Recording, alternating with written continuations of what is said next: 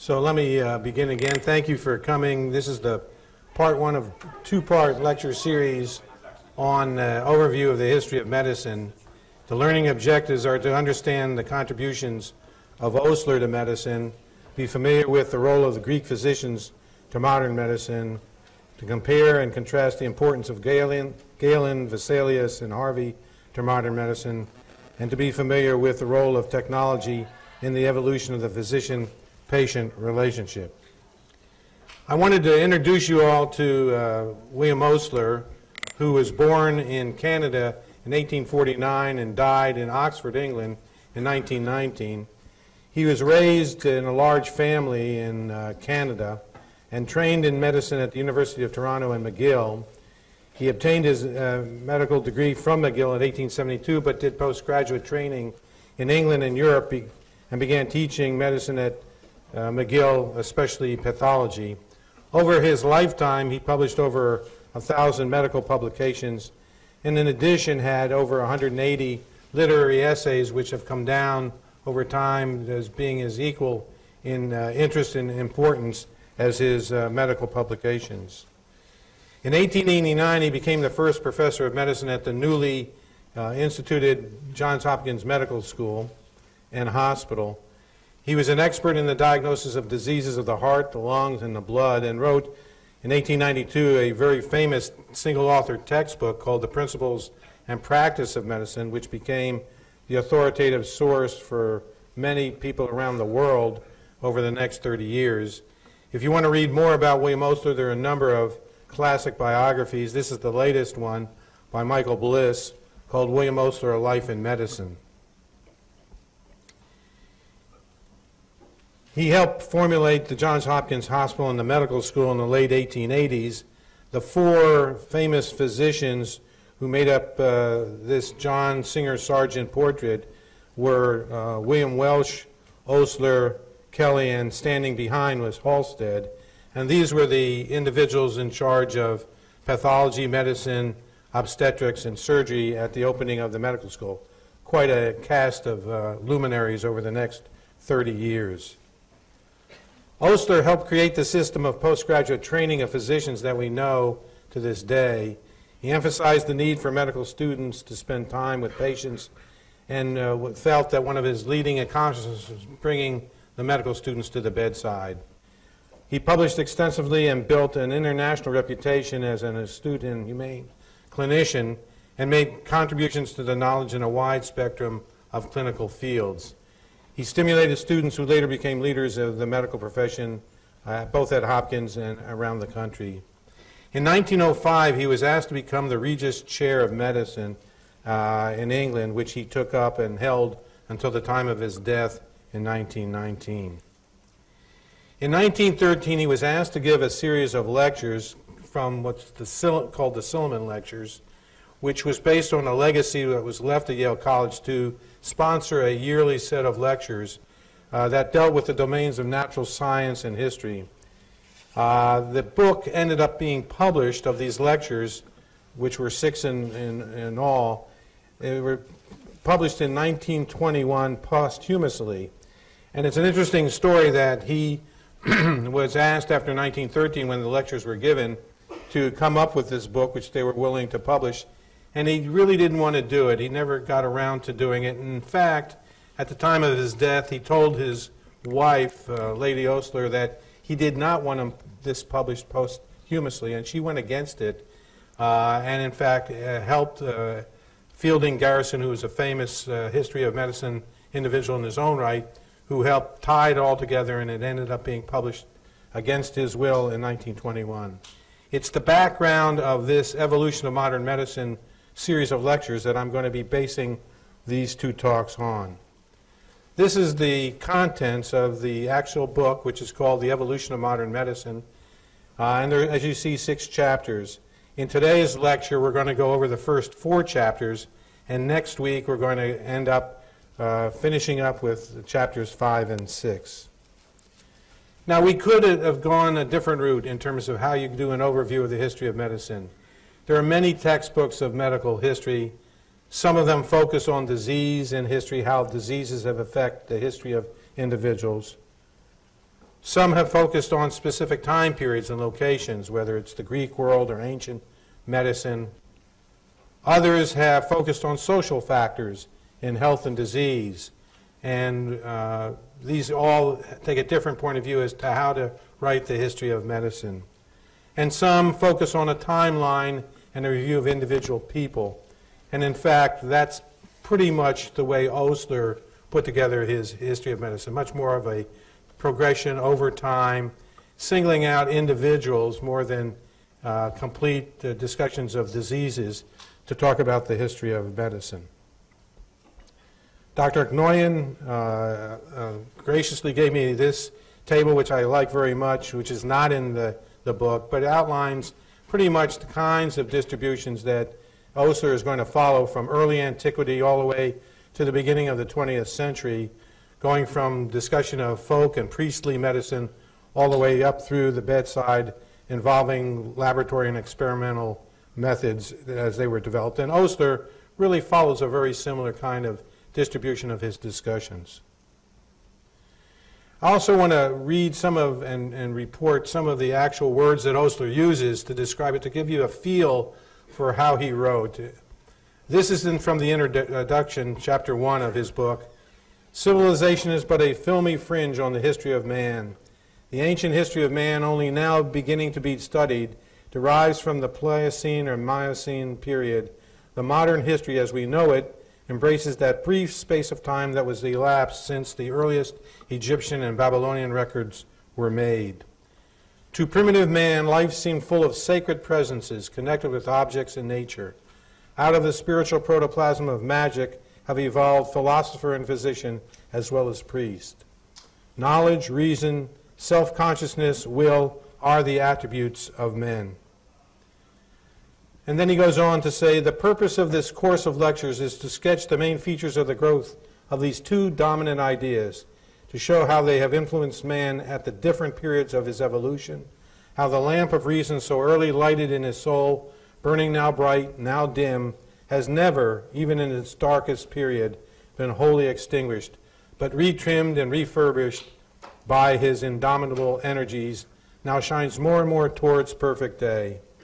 I propose to take an airplane flight through the centuries, touching only the tall peaks from which may be had a panoramic view of the epochs through which we have passed.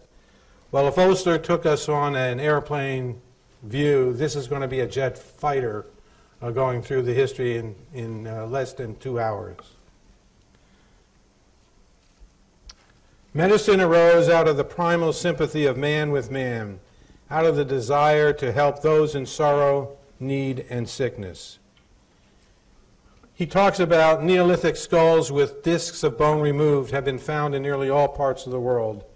This is in his discussion on the origin of medicine. Many of the figures I'm showing you actually are the figures that he used in his textbook uh, to make his point. Early surgery had been shown to involve trephining in ancient Peru and other places around the world. It was performed for such things as seizures, headache, and trauma. So he says that, in fact, early surgery employed these kinds of techniques. But then he moves to medicine in ancient Egypt, in which he says, out of the ocean of oblivion, man emerged in history in a highly civilized state on the banks of the Nile some 60 centuries ago.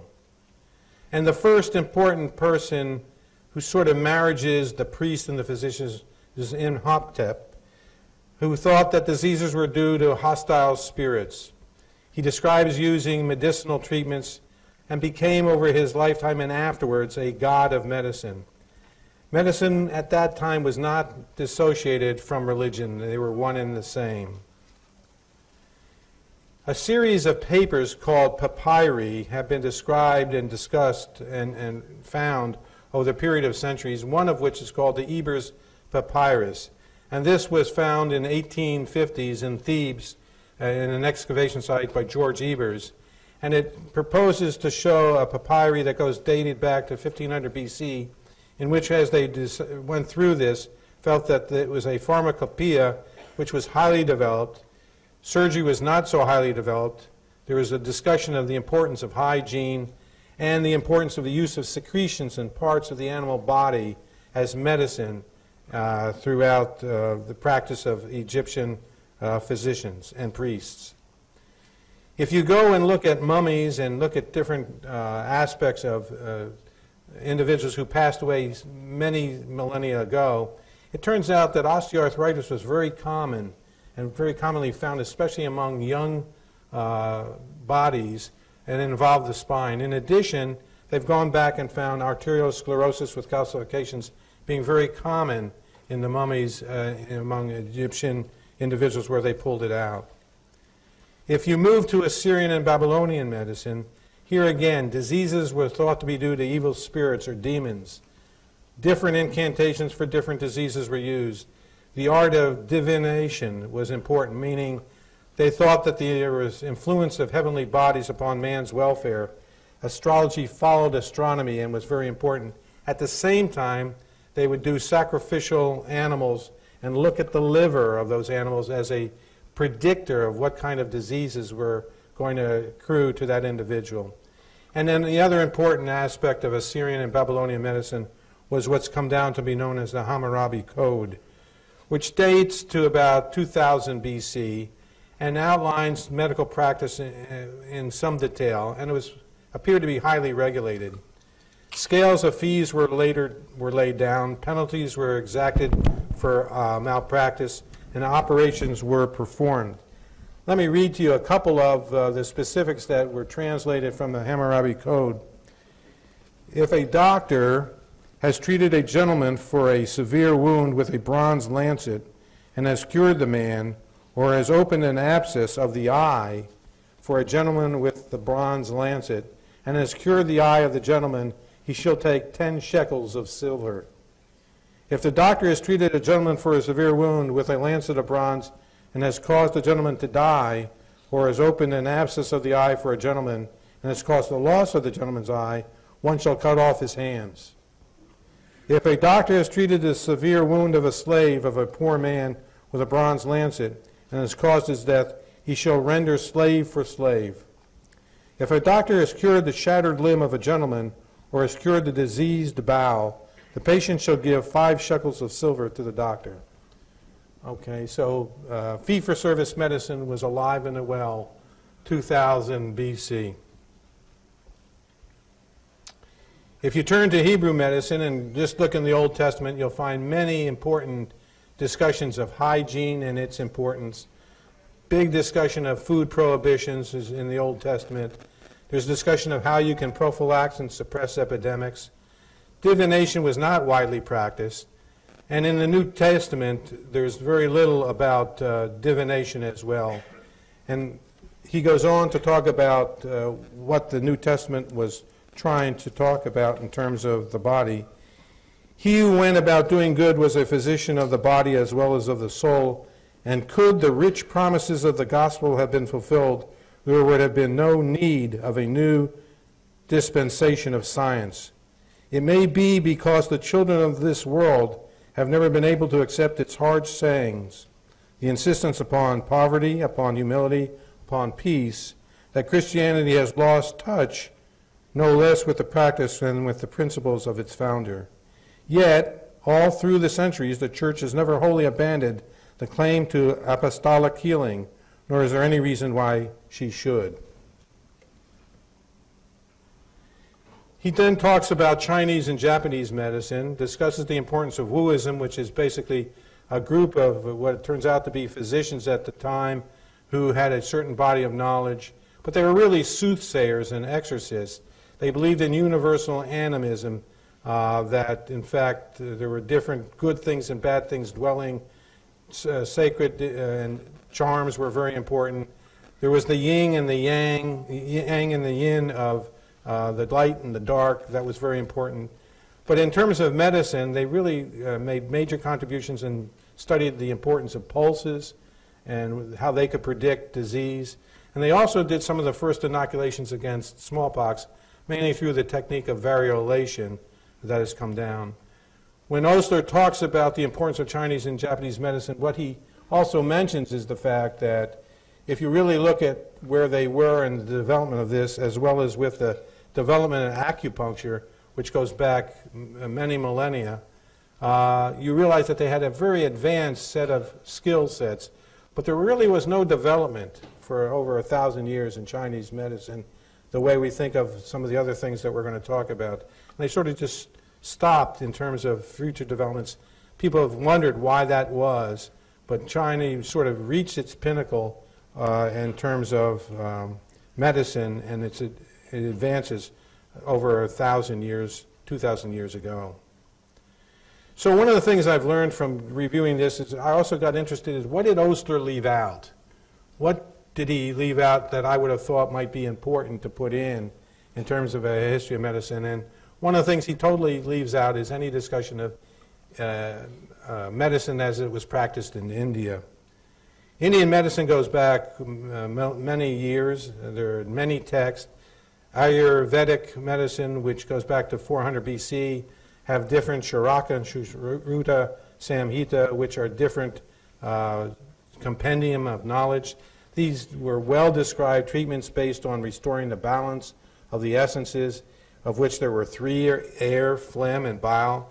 And the body was composed of seven constituents blood, bone, chyle, fat, flesh, marrow, and semen. They had a great and sophisticated herbal medicine, and they also had many skilled physicians and surgeons who employed steel instruments. They did some of the first uh, plastic surgery, transplants of of noses and things of that going back millennia, well advanced beyond uh, what had been described elsewhere. He never mentions this. It's unclear why, but Indian medicine is obviously something that is of importance historically. Let's turn to chapter 2, where he talks about Greek medicine. And here I quote again from the book Let us come out of the murky night of the east, heavy with phantoms, into the bright daylight of the west into the company of men whose thoughts made our thoughts and whose ways made our ways, the men who first dared to look on nature with the clear eyes of the mind. After you read this, you realize that Osler was a great believer in the centrality of Greek medicine really moving things along. And of course, he turns to Asclepius, the emblematic god of healing and the son of Apollo. And let me just read to you what he says, No god made with hands had a more successful run than Asclepius. For more than a thousand years, the consoler and healer of the sons of men. Shorn of his divine attributes, he remains our patron saint, emblematic god of healing, whose figure with the serpents appears in our seals and charters. He was originally a Thessalian chieftain and fought in the Trojan War, and his sons Machaon and Podalirius became famous physicians. Nestor, you may remember, carried off the former, declaring in the oft quoted phrase that a doctor was better worth saving than many warriors unskilled in the treatment of wounds. Here is a uh, picture of Asclepius with his daughter Hygeia with the sacred snake. The idea of the serpent as an emblem of the healing art goes back a long way. Uh, there was natural dread in all of serpents. They were associated with mystic and uh, magical powers. In Greece, they became the symbol of Apollo.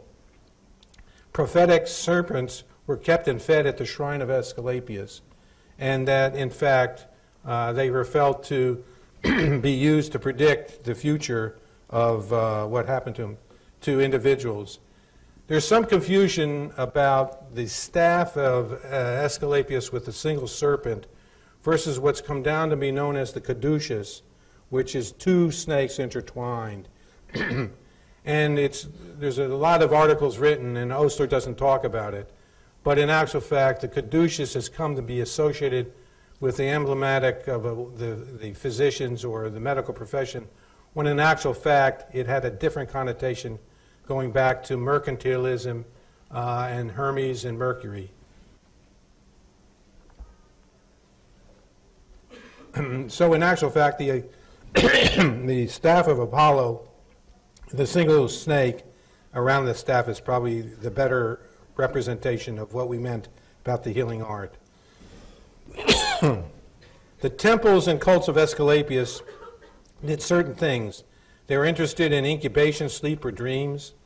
There, some operations were performed there. They believed in miracles. and they also believed in diet, exercise, and massage and bathing. These temples or cults were probably more like spas. You went there, uh, you were pampered, you went, there were stadiums and theaters. Uh, it was really more like a, a health club.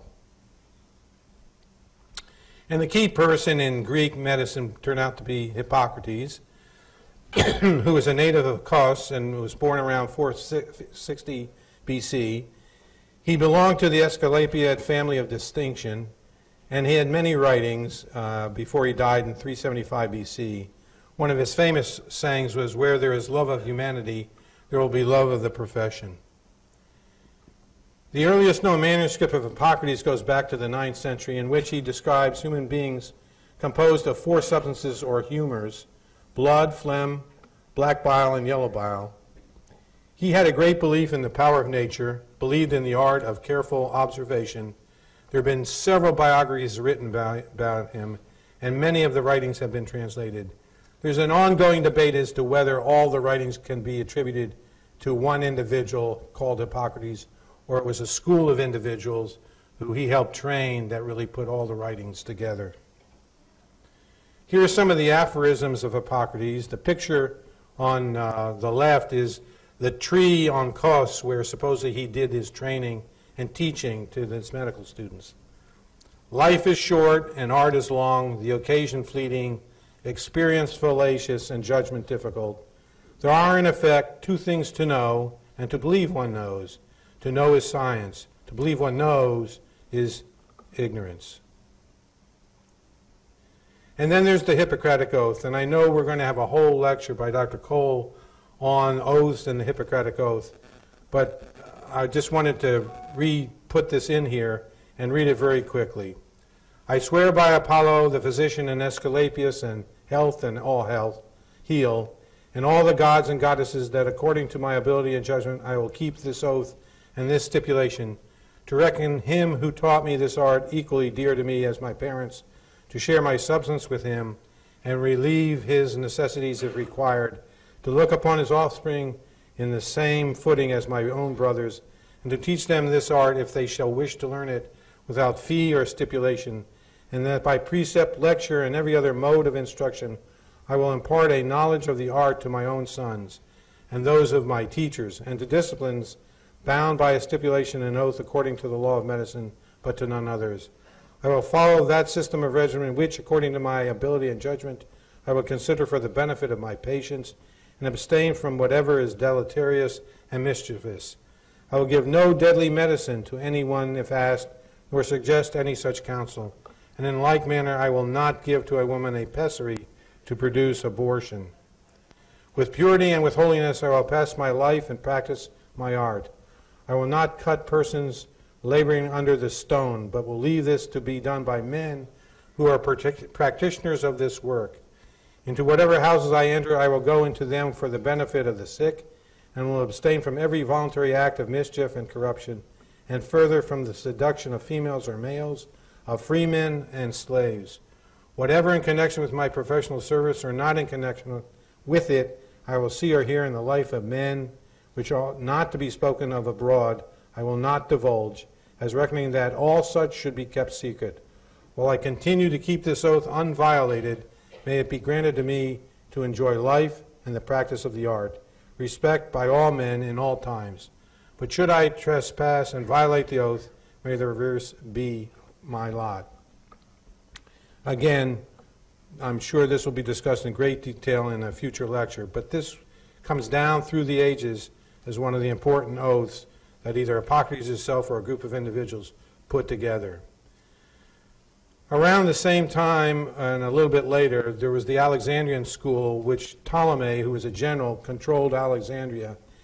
And this is important because it was the first great medical school of antiquity and had a huge museum where a lot of the information was housed in scrolls and books uh, there, which were actually lost in a, a fire over time. So if we look at a period of about two to 3,000 years, you can see in 3,000 years we've come down to the first medical schools and libraries in Alexandria being founded. We've talked about the birth of uh, Asclepius, but there's a lot that preceded this, going back uh, millennia, to both Egypt, China, and even cave paintings in other parts of the world. Now, one of the key figures in medicine turns out to be Galen, who was born in Pergamon around 130 AD. And this is actually in Asia Minor and corresponds to parts of Turkey today. He died in uh, around 70 years of age and was a disciple of Hippocrates. His main claim is that he dissected animals and used those dissections to sort of put together the anatomy that he thought was in, in, in going on in other animals. But he reckoned that it, what he found in animals would also be true in man, and that wasn't always the case. He carried out many experiments, but for 1,500 years, his, what his writings were were dominant in medical thought, both locally and throughout uh, Europe and North Africa. To give you an idea where this fits in, this is the schema illustrating the Galenic doctrine of the nature of the vascular system. At that time, they did not think that there was a circulation of blood around. And this is what he thought happened, that blood was formed in the litter, liver from food transported to it. It moved from the hepatic vein to the vena cava to the heart by suction of the heart during diastole. And that the rest of the blood was sent by venous system to other organs. And to have this all work, he had an interventricular system between the right and the left heart, must be permeable to blood. That's what he thought was the key. That there was this, imp- didn't see it, he just thought there must be these pores. And this view of how the blood worked was kept in, intact for over a thousand years. Now let me go and, and say, who did Osler leave out? Here's one that I think he leaves out. Dioscorides, uh, he mentions in the book, but doesn't really describe the importance of Dioscorides. Dioscorides lived around the same time as Galen. He served as a physician and surgeon to the Roman legions. Every time he went around with all these legions, he collected plants from all parts of the world, and he wrote the first really uh, pharmacopoeia that's come down called De Materia Medica. And its chapters, names, habitats, botanical descriptions, medicinal usage, harmful side effects of all the plants were described.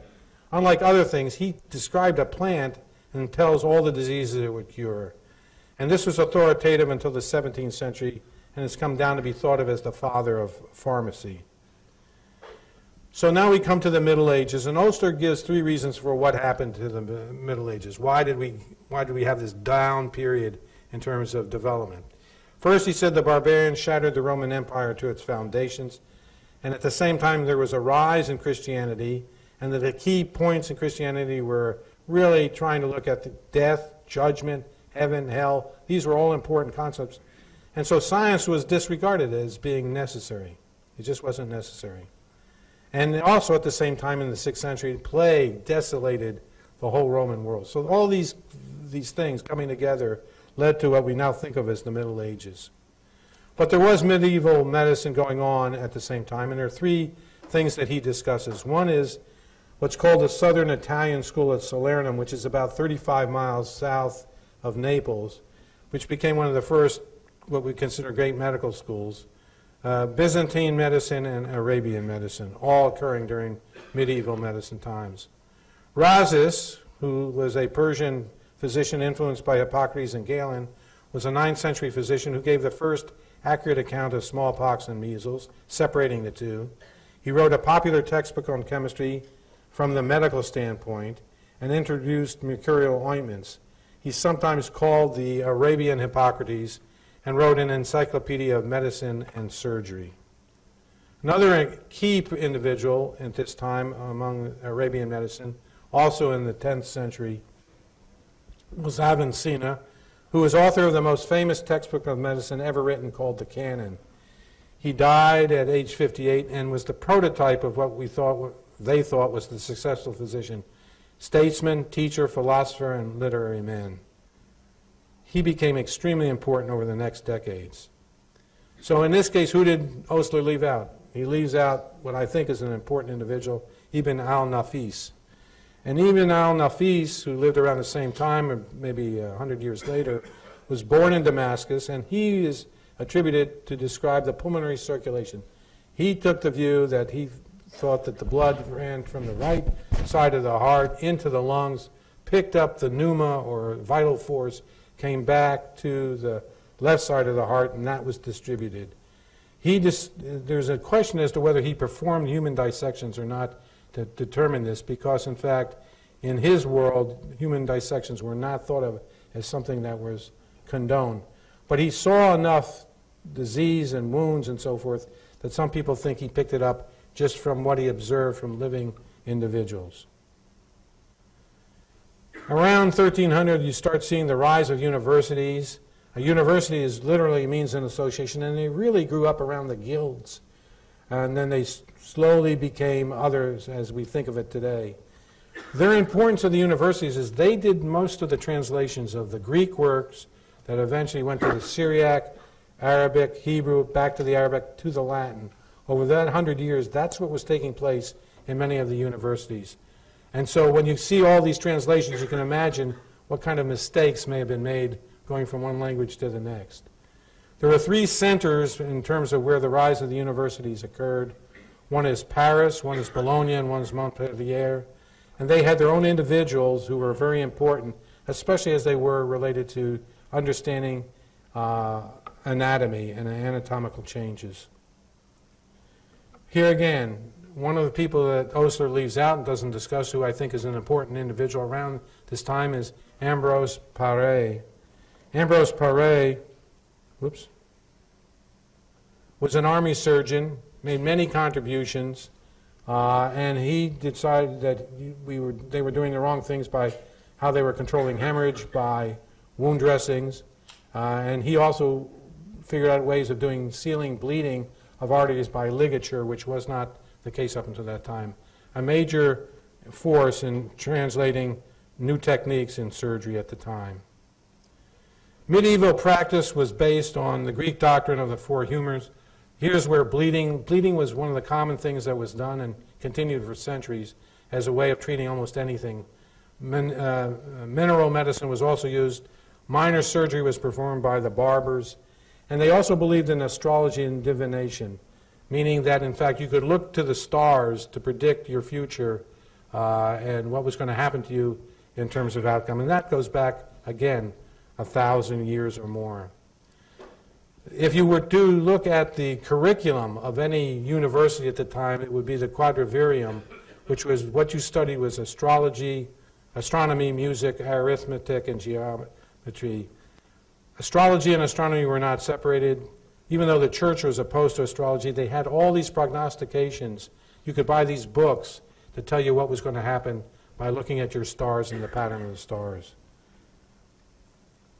So the Middle Ages, from the time of Dioscorides and Galen all the way to the medieval text, we see some of these medical schools being found in Europe. The development of professional medical organizations are set up, and medical texts are preserved.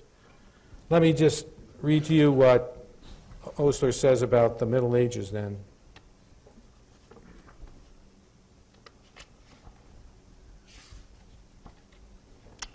To sum up, in medicine, the Middle Ages represent a restatement from century to century of the facts and theories of the Greeks, modified here and there by Arabian practice.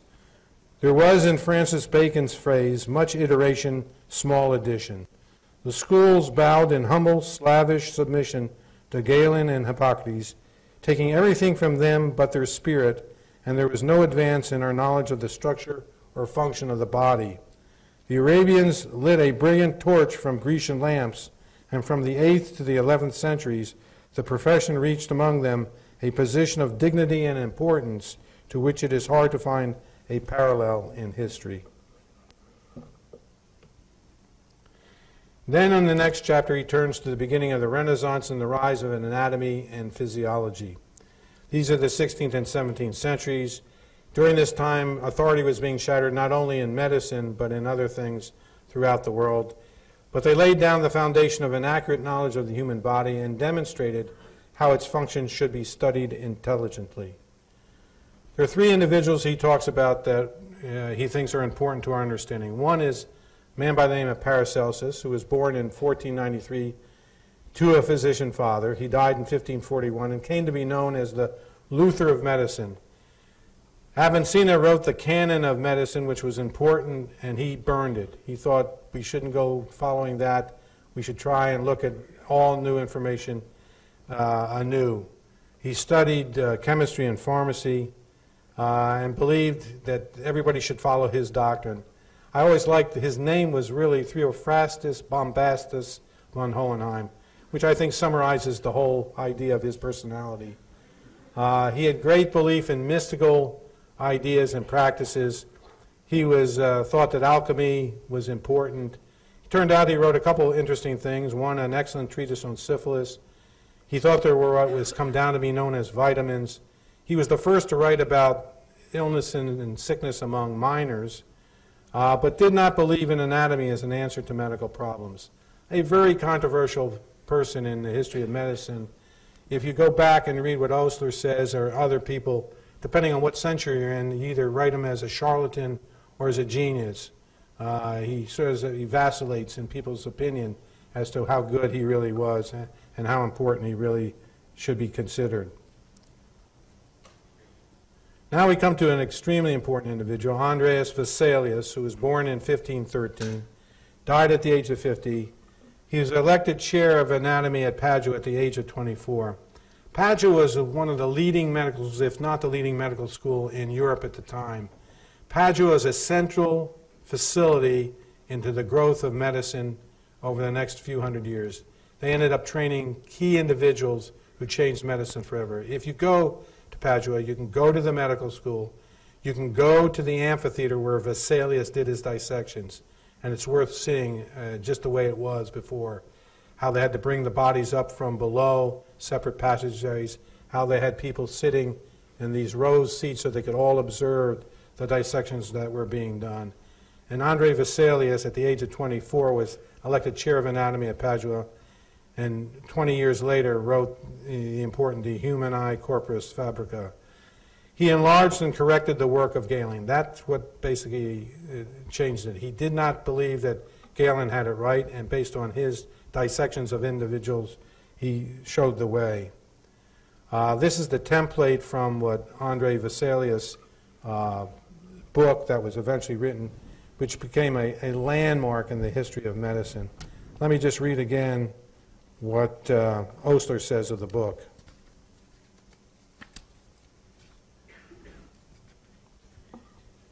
A year or more was spent at Basel with his friend, supervising the printing of the great work, which appeared in 1543 with the title De Humani Corporis Fabrica.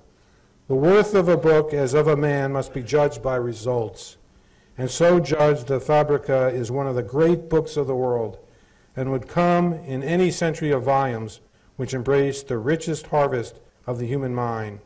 In medicine, it represents the full flower of the Renaissance. As a book, it is a sumptuous tome.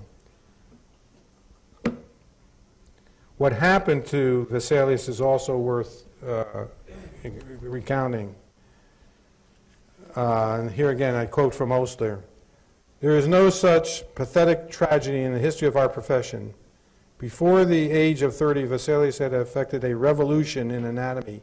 He became the valued physician of the great court of Europe, but call no man happy till he is dead.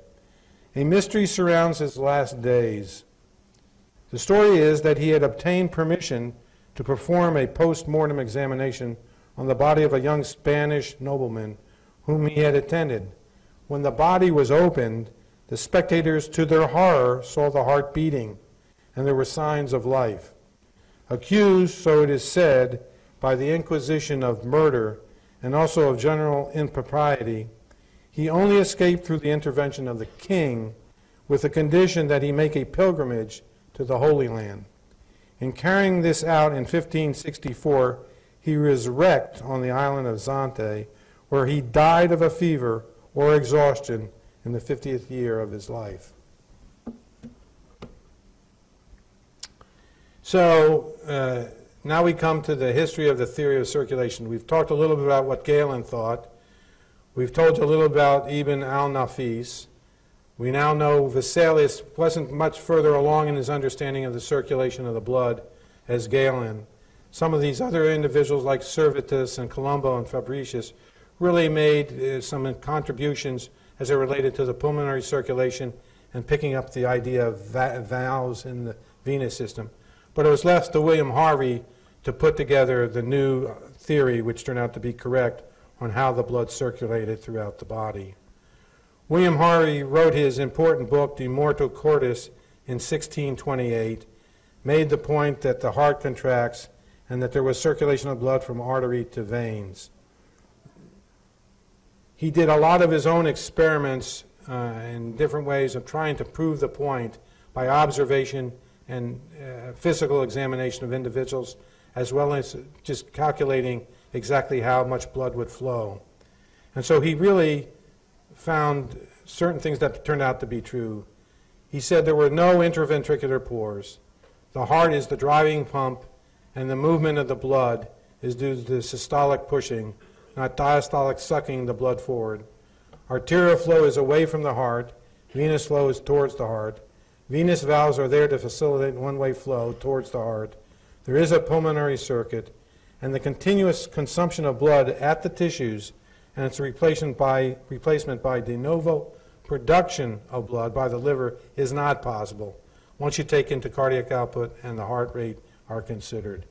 And so he put all of this together, published it, and it became an important, exceedingly important document that changed the nature of how we looked at both anatomy and physiology uh, and human individuals' disease processes.